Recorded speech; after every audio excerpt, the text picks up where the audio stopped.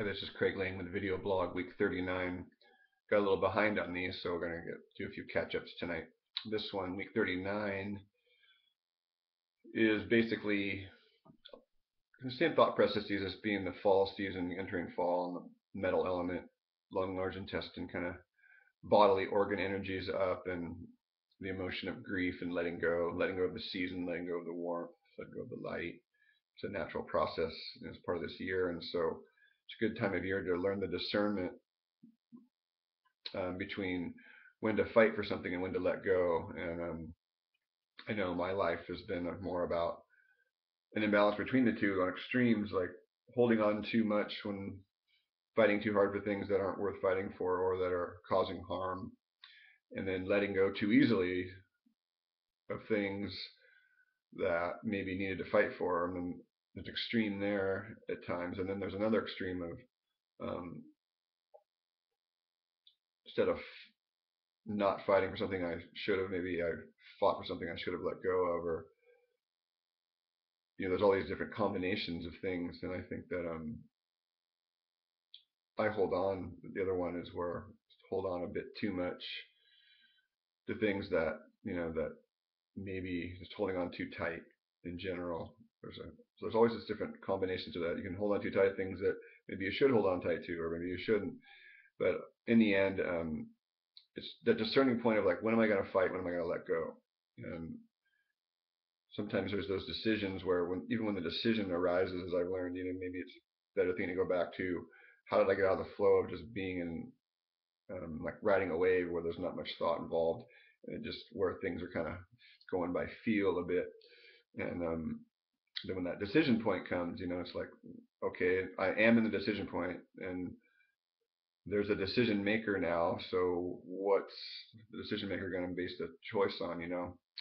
And so it goes back to maybe am I going to thrive or am I going to tolerate from the previous video blog? And with leading a cleanse right now, there's some of this stuff comes up. Um, when am I going to let go of some foods that I know are sort of bad for me?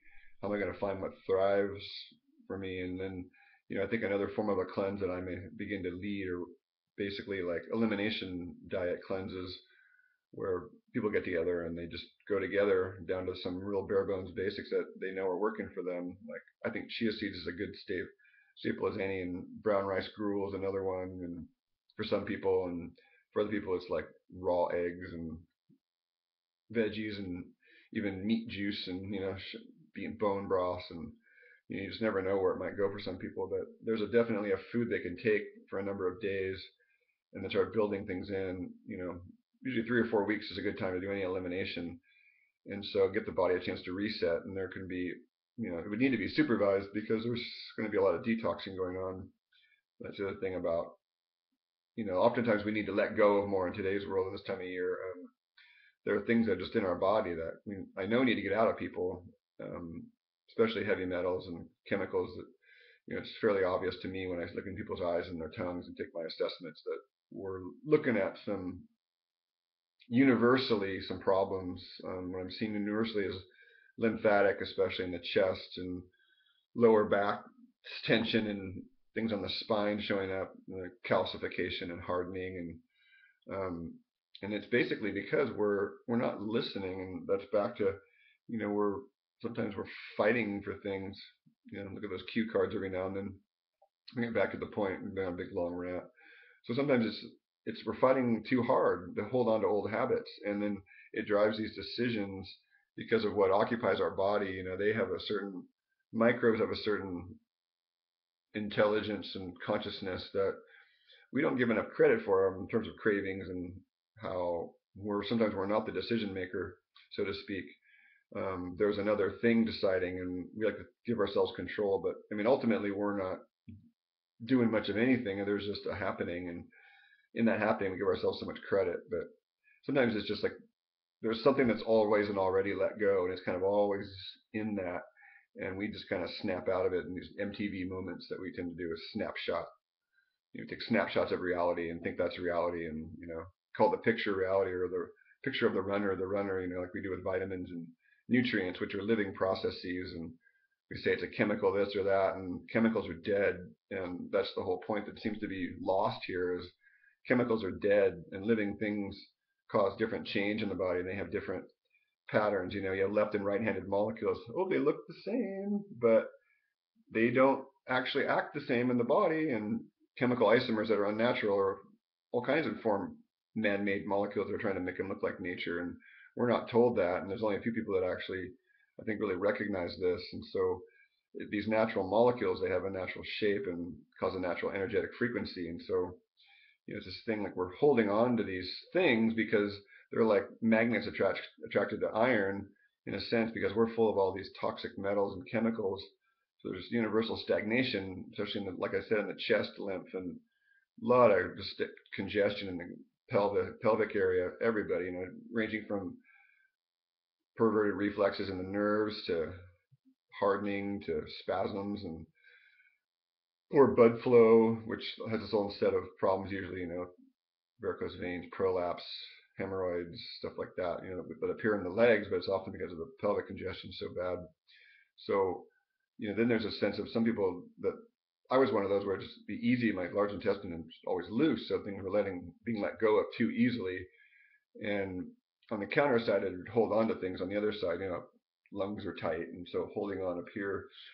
Um, so it's a little bit of a rant, but there's some value in this, I think, just because um, this time of year there's this discernment. I have another video blog I'm going to I'm going to talk about in a little while, um, probably not tonight, but it's really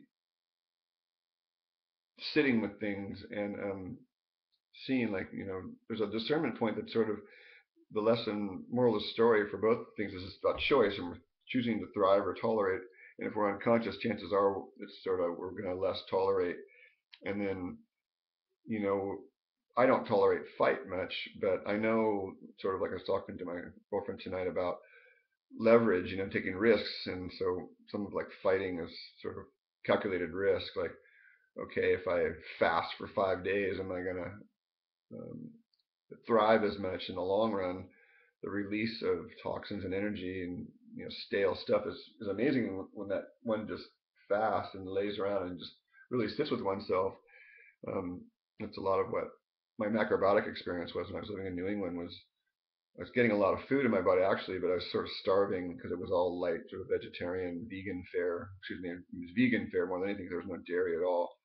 Um, so like cheese was like the devil it's so funny to me now. Um, you know, when you throw out a good protein source, um, that you know it's congestive for sure, but there are ways antidotes to that, and you know, people aren't talking about that. So there's things that you know are gummy, and those are another point in terms of food. Cheese causes us to hold on to things because it's sticky and gooey, and so there's a certain emotional state like that too. There's sticky, and others are not. And so, you know, when to fight, when to let go. I think that's um, is a the thing to take away here is it's nice to have a takeaway. My intention was just to offer one simple truth and a couple of stories to back it up. And the final simple truth here is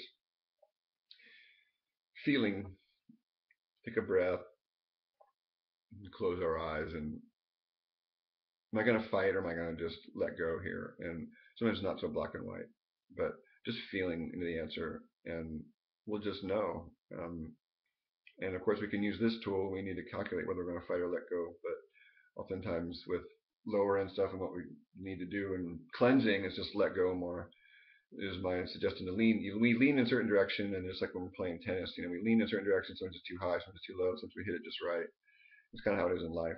You know, um, sometimes we hit it just right, and that's the dance. Is just to look for.